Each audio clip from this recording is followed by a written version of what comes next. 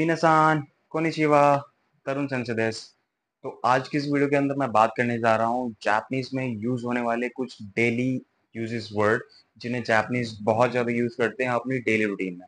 सो so, अगर आप में से कुछ लोग जो आप किसी को वर्कर के साथ काम कर रहे हैं किसी जापनीज के साथ काम कर रहे हैं या फिर आपके जापनीज फ्रेंड है और आप चाहते हैं कि उनसे जापानीज में हम बात करें तो ये वीडियो आपके लिए। चलिए ज़्यादा टाइम वेस्ट किए शुरू करते हैं आज की वीडियो को। फ़र्स्ट वर्ड इज़ ओहायो गुजाइमास। ओहायो गुजाइमास। मीनिंग है इसका good morning second vocab is अरीगातो गुजाइमास अरीगातो गुजाइमास so meaning is thank you जब किसी को हम थैंक्स बोलते हैं जापानीज में तो इस तरीके से बोलते हैं। थर्ड वन इज़ दोई ताशिमाश्ते दोई ताशिमाश्ते meaning is your welcome so welcome कहने के लिए दोई ताशिमाश्ते वर्ड यूज़ करते हैं।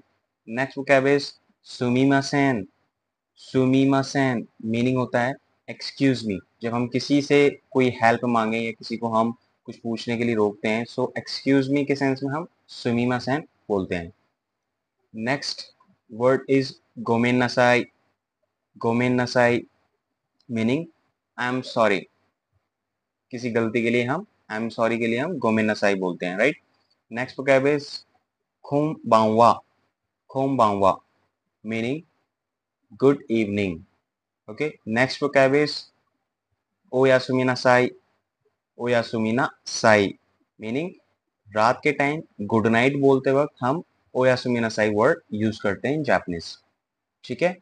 नेक्स्ट वो वोकैब के बाद आपकी ओगेंकी दिस का ओगेंकी दिस का मीनिंग जब हमें किसी से पूछना है, आप कैसे हैं? हाउ आर यू सो ओगेंकी दिस का और इसकी मीनिंग इसका आंसर की बात करें तो गेंकी दिस अगर आप फाइन हैं, आपने ठीक है सो गेंकी दिस नेक्स्ट है इसके बाद वकारी मश्ता वकारी मश्ता मीनिंग अंडरस्टूड समझ गया नेक्स्ट वोकैब इज़ हाई जिसका मतलब होता है यस नेक्स्ट वोकैब है ये ये थोड़ा लॉन्ग साउंड है. So answer would be no नहीं बोलने के लिए ये टर्म यूज़ होती है राइट इसके बाद नेक्स्ट वोकैब आता है?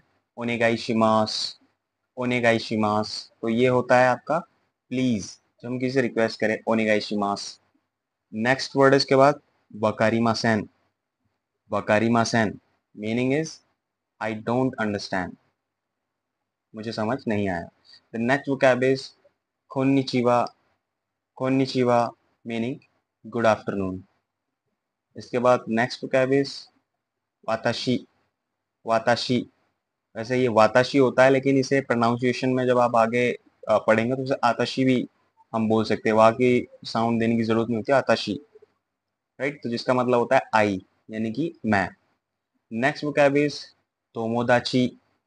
तोमोदाची meaning friend okay next vocab is ओनमायवा नांदेस का ओनमायवा नांदेस का मीनिंग जब हम किसी का नाम पूछे what is your name next vocab is खाजोकु खाजोकु meaning family next vocab is खोदोमो खोदोमो meaning children next vocab is ओतोकोनो हितो ओतोकोनो हितो मीनिंग इज़ मैन मैन के लिए हम ओतोकोनो हितो टर्म यूज़ करते हैं. Next vocab is onna no hito onna no hito meaning is woman. The next vocab is asagohan. Asagohan meaning breakfast. Next vocab is hirugohan. Hirugohan meaning lunch. Next vocab is yorugohan. Yorugohan meaning dinner right? Next vocab is yasai yasai meaning vegetables.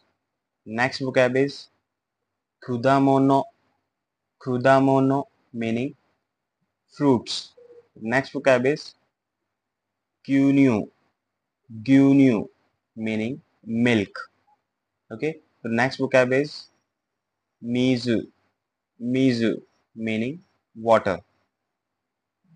Next vocab is ginkgo, Kinko meaning bank. Next vocab is ओतेरा ओतेरा meaning temple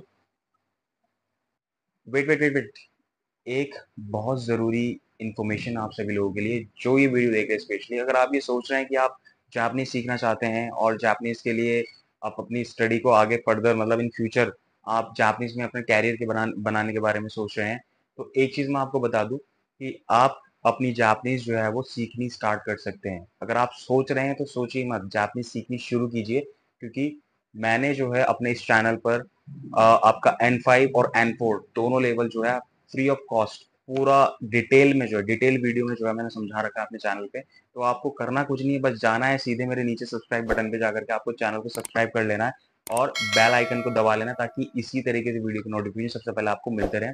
और आप अपनी पढ़ाई को जो है self study के through भी स्टार्ट कर सकते हैं, जैसे कि मैंने बताया, हमारे चैनल से जुड़ करके। फिर किस बात की है? स्टार्ट करें अपनी पढ़ाई को और अपने कैरियर को बूस्ट करें।